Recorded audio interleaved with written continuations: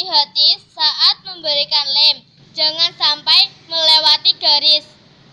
Diberi pasir, sekarang tinggal pasirnya ditumpahkan ke koran bekasnya.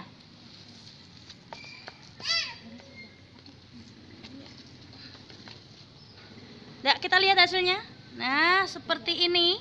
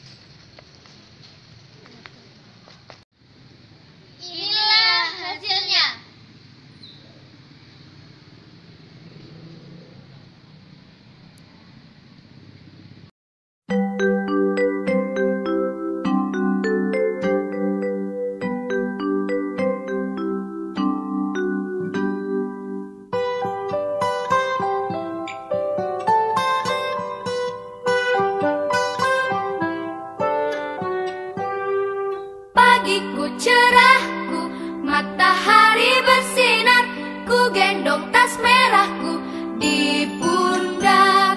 Selamat pagi semua, ku nantikan dirimu Di depan kelasmu, menantikan kami.